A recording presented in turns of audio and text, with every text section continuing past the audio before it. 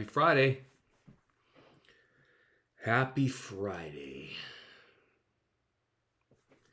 Psalm 119 is a long psalm. So we are going to take it in chunks. It's going to take us a while, probably a week or more. It is a uh, Psalm 119 is a long song, psalm. Um, and I was reading up on it this morning a little bit and uh, the commentator was saying that it's arranged in an acrostic pattern. There's 22 letters in the Hebrew alphabet. And this psalm contains 22 units of eight verses each. So, interesting. Um, each of the 22 sections is giving a letter of the Hebrew alphabet, and each line in that section begins with that letter. The closest parallel to this pattern in Scripture is found in Lamentations 3, which is also divided into 22 sections, and a few other passages in the Hebrew Scriptures use an acrostic pattern. So the Hebrew letter that starts this part of Psalm 119 is Aleph, or Aleph. I don't know if I'm saying it right. A in the Hebrew alphabet. So before we start, we need to ask Jesus for his help. Let's pray. Father God, we come to you this morning and thank you for your Bible. Thank you for giving it to us. And I pray that we will learn of you and your ways and um, that we be more like your Son, Jesus Christ our Lord. Thank you, Holy Spirit, that you have sent this great passage to us this morning. Teach us your ways, we pray, Jesus. Amen. So here we go. First part of Psalm 119.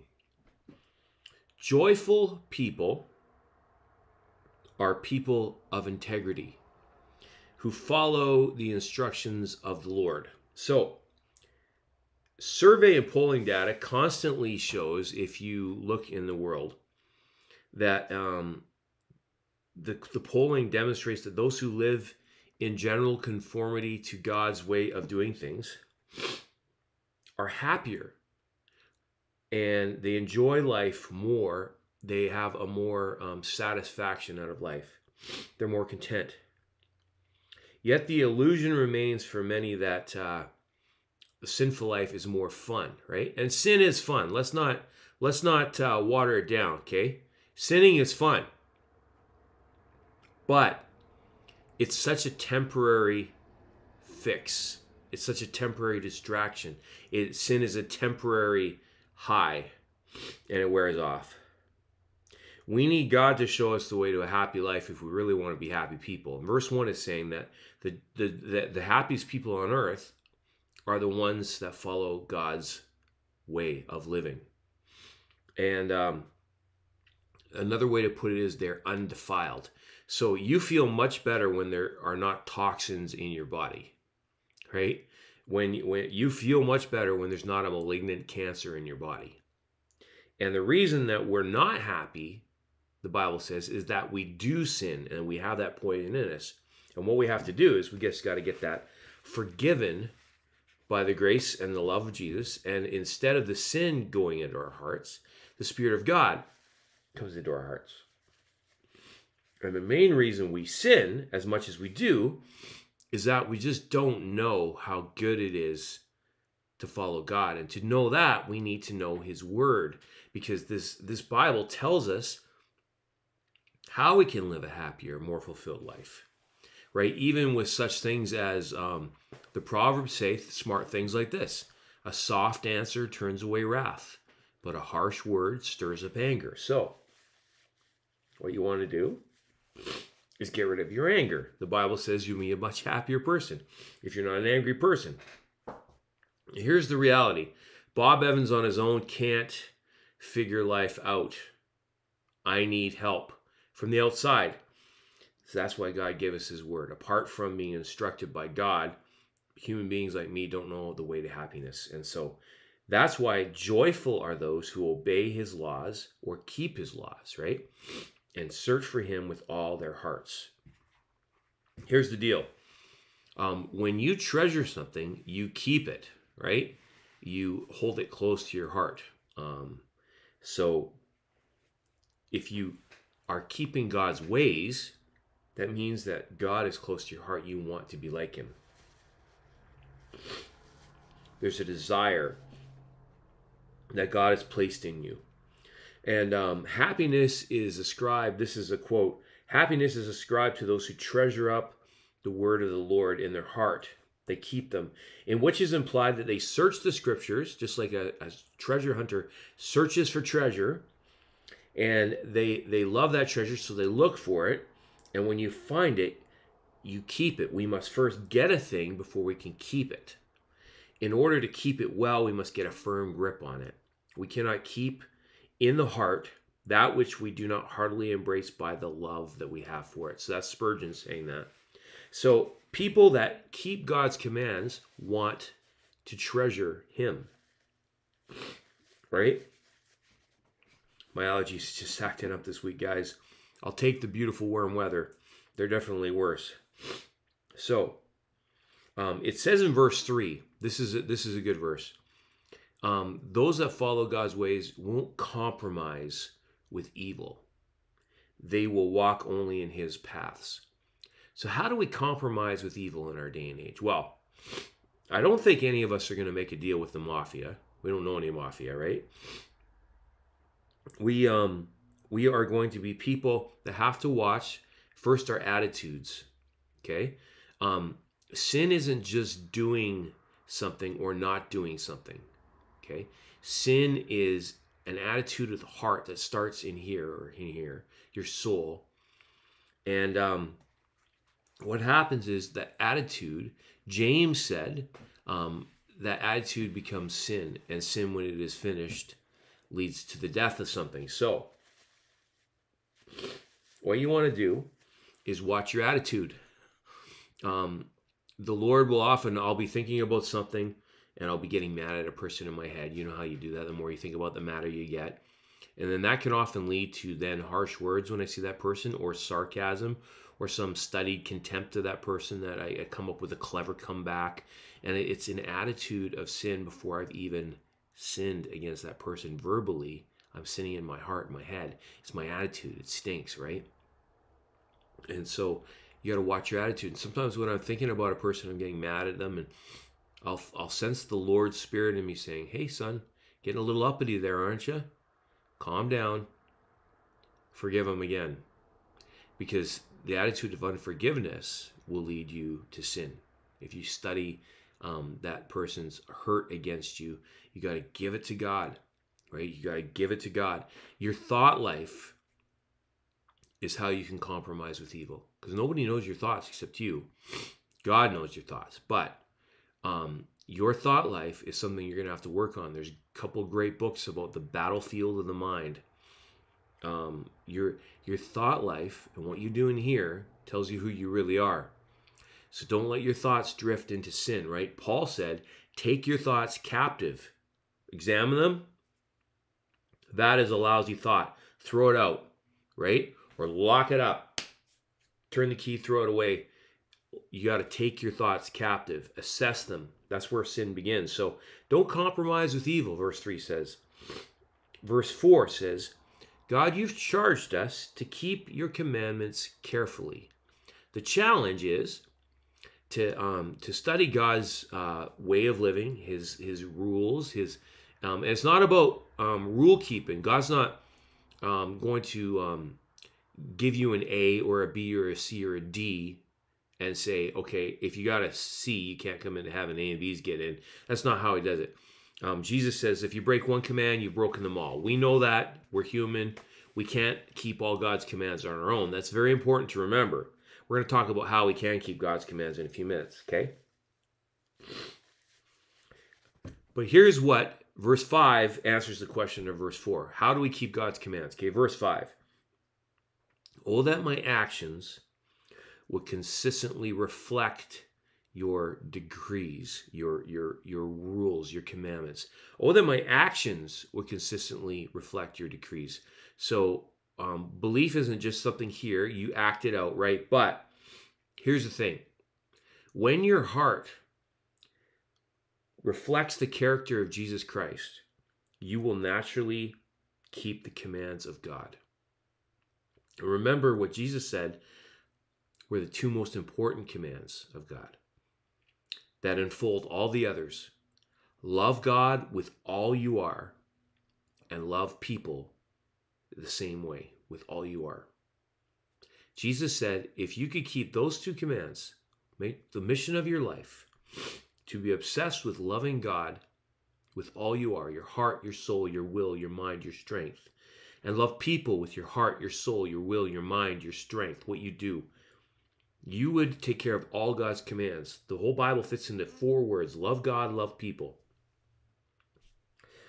And um, so you've got to ask God for the heart of Jesus. Verse 6 says, If my actions would consistently reflect the decrees of God, I mean, my heart was right, and then I would not be ashamed when I compared my life with your commands. It is a good idea to check your heart to see how you're really doing. I heard one pastor say most people check their weather apps more than they check their heart. 1 John 1 says, you've got to first admit, right? Admit, believe, commit. Okay. Admit. If we claim we have no sin, we're fooling ourselves. 1 John 1 8. If we claim we have no sin, we're fooling ourselves and we're not living in the truth. But if we confess our sins to Him, He is faithful and just to forgive us our sin and cleanse us from all unrighteousness. Verse 8, you've got to admit you're a sinner. Verse 9, confess it to God. He will cleanse your heart. Once He cleanses your heart, the Holy Spirit moves in and He gives you a new heart. He gives you the heart of Jesus. You used to love doing evil things, now you don't. It bothers you. That's a good thing. Verse 7 says, As I learn your righteous regulations, I will thank you by living as I should. If you want to thank God for saving you, you live as you should his heart in you, helping you live the way you should live. Jesus said, It's pretty simple. If you love me, you'll keep my commands. If I love Sandra, I won't flirt with other women. If I love Sandra, I won't uh, commit adultery and have an affair on her and, and wreck my marriage. If I love my children, I will be a good dad. Um, if I love God, I will be faithful to Him. If I love people, I will treat them with respect. It's all about love. It's about your heart's affection for God and for people. His love changing your heart, giving you the character of Jesus, His Spirit moving in there, rearranging selfishness into selflessness, right? And verse 8 says, Then I will obey your decrees. And then this is a pretty real prayer here, verse 8. He finishes this section, the Aleph section, with this Lord, please don't give up on me. That tells you if somebody really loves God. If you can say, Lord, I want to live the way I should, but I'm having such a hard time, and I really want to, please don't give up on me. You pray this, Lord, without you, I can do nothing. Please purify my heart, cleanse me from within, make me more like Jesus. Make me stronger in here. Make me more than I am. My soul is unstable. I am fickled, I'm attention deficit. I'm drawn to the things of this world and I don't want to be. I want to be strong. I want to be pure. I want to be a light. I want to set an example. I want to serve people. I want to show them what you're like by how I live. I want to show them what you're like by how I love. Um, you say, God, please don't give up on me. Here's the good news. He, Paul said this, not me, he who began the good work in you will carry it on to completion. He's not going to give up on you. And all he needs is your heart toward him to say, Lord, help me, change me, use me, make me better than I am now in my heart. And the Bible says that his grace is sufficient for your weakness. Um, if your heart is toward God, you want to change. If you want to be closer to God, your sin bothers you. And that is a good thing because that's a sign that God's Spirit lives in you and He is reacting to your sin. And since it bothers Him, it bothers you. So don't get discouraged when you occasionally sin and mess up. Go to the Father, admit your sin, um, admit your sin, and just say, uh, Please cleanse me. And He says, I will, I have, I forgave you from the cross. Let's try again, right? So if your sin bothers you, folks, it's a good thing. Remember how much Jesus loves you. Remember that He went to the cross. Your sin is nailed to the cross. You bear it no more. Um, praise the Lord, O my soul. So let's pray for the heart of God. And this is a way to help you pray. Um, listen to this song, get it in your head, and ask God to change your heart. Let's listen.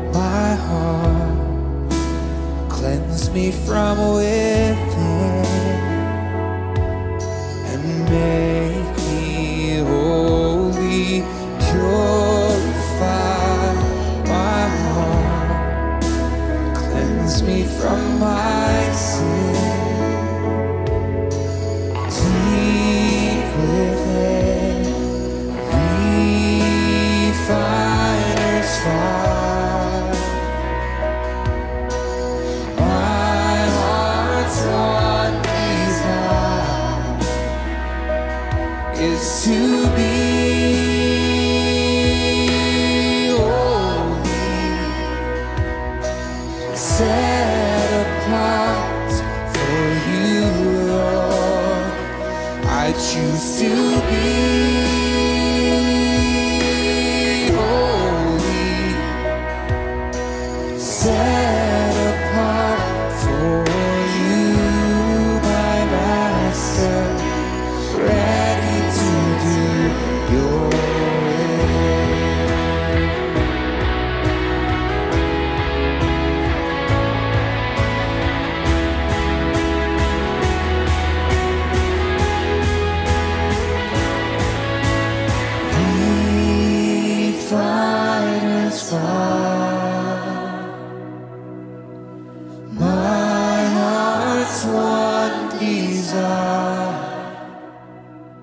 is to be holy, set apart for you, Lord. I choose to be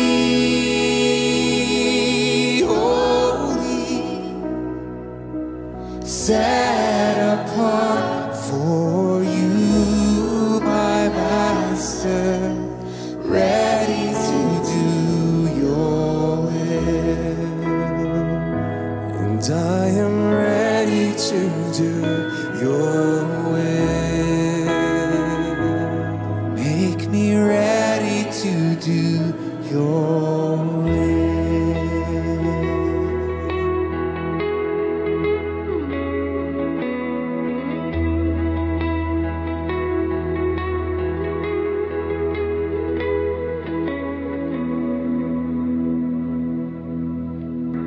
Great song. Get it on a playlist. Make it your prayer. Check your heart. He'll cleanse your heart. He'll give you a new heart. That's what it's about. Um, hey, come to church. Come to church on Sunday. It's this week. Yeah, on the hub lawn. We'd love to see you. 9 or 10:30. Just show up. We love you. And uh, we want to see you there. And with the with the variant and the way it's spreading, I would come to church this Sunday. Don't put it off because you might not be able to come again till the summer. They might uh, they might put in new restrictions next week. So see you this Sunday. Let's celebrate. God's love is great. He's with you. May the Lord bless you and keep you and make his face shine upon you, turn his heart towards you, and give you a peaceful, joyful, restorative weekend. God is with you. His love is great. Don't worry, you're in God's hands. Nothing to worry about.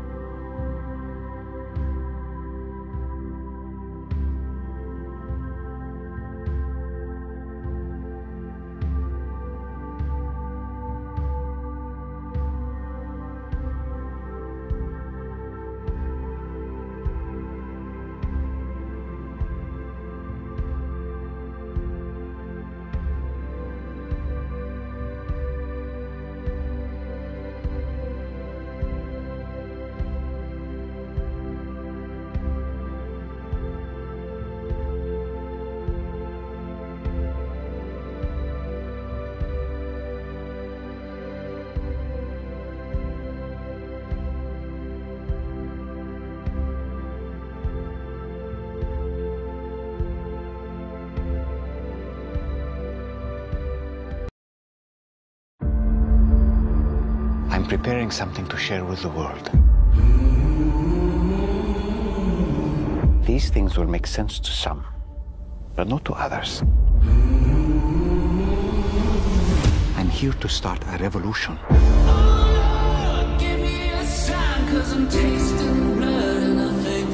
Me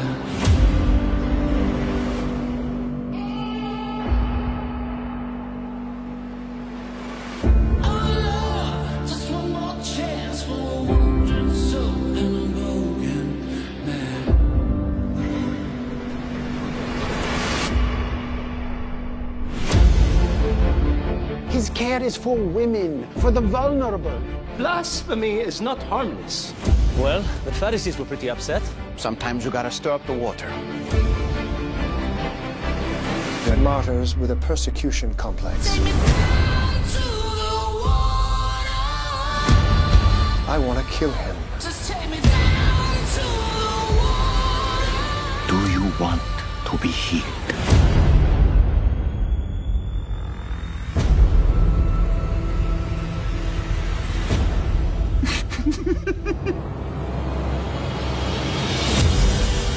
Something that's open to all people. Get up and walk. If he was supposed to be healed, God would have done it himself. That's an interesting point. Your fame is spreading, the good kind. You have certainly livened things up around here. Word travels fast. Fellow cousin, my heart is yours. My life is yours. John the Baptizer was taken into custody. Jesus of Nazareth. We finally meet. David, Goliath. Maybe there is hope for the little. What we're doing here will last for generations. I want my people to participate in the healing of the world. I do not feel very much worthy. Who's worthy of anything? You? The one comfort we have is to know that we're doing it together. If not now. When? I'm here to preach the good news of the kingdom of heaven. I make a way for people to access that kingdom. In this world, bones will still break. Hearts will still break. But in the end, yeah! the light will overcome darkness. Hey there, it's Dallas. I'm the creator of The Chosen, and if you haven't seen season one, or if you want to see season two, you gotta get the Chosen app. It's free, it's easy, it connects directly to your streaming device. You don't even need a subscription. Go check it out.